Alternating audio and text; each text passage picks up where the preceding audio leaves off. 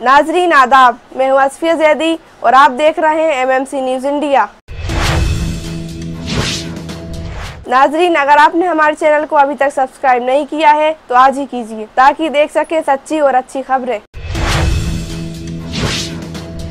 छठे मरहले की पोलिंग के बाद प्रियंका का बड़ा बयान। प्रियंका गांधी ने कहा, भाजपा जाएगी, कांग्रेस आएगी। प्रियंका गांधी के हौसले बुलंद।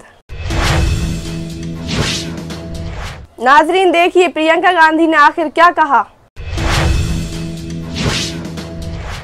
को बिगाड़ना चाहते हैं तपस्या से बनी है ये छवि बिगड़ नहीं सकती। अगर 50 घंटे की तपस्या कर ली हो रही है किसका मोबाइल है तो इस तरह से नफरत भरी बातें नहीं करते।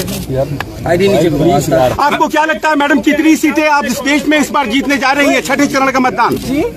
कितनी सीटें आप जीतेंगी? क्या बहुमत ये ये एकदम स्पष्ट है कि भाजपा की सरकार जा रही है जनता में आक्रोश है जनता त्रस्त है परेशान है और और अपना इस इस परेशानी को वोट के ज़रिए व्यक्त करेंगे। प्रियंका और ये बहुत स्पष्ट है खास तौर से उत्तर प्रदेश में जहाँ जहाँ मैं जाती हूँ एकदम स्पष्ट है भाजपा हार रही है।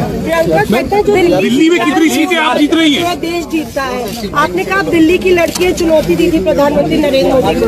तो दिल्ली में मोदी जी रहे मैं तो मेरी तो आशा है और उम्मीद है कि अच्छे नतीजे रहेंगे कांग्रेस के उम्मीदवार पर आपकी चुनौती तो उम्मीद है।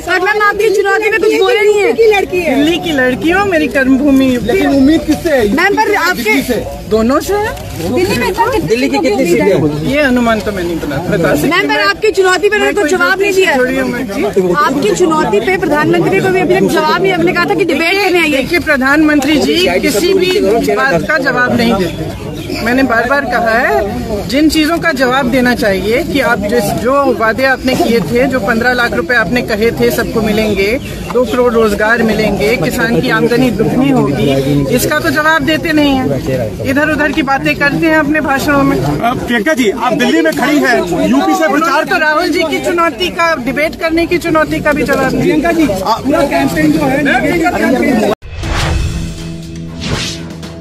नाजरीन हम फिर हाजिर होंगे कुछ बड़ी खबरों के साथ। तब तक देखते रहिए एमएमसी न्यूज़ इंडिया नाजरीन अगर आपने हमारे चैनल को अभी तक सब्सक्राइब एंड शेयर नहीं किया है तो अभी कीजिए। शुक्रिया खुदा हाफिज।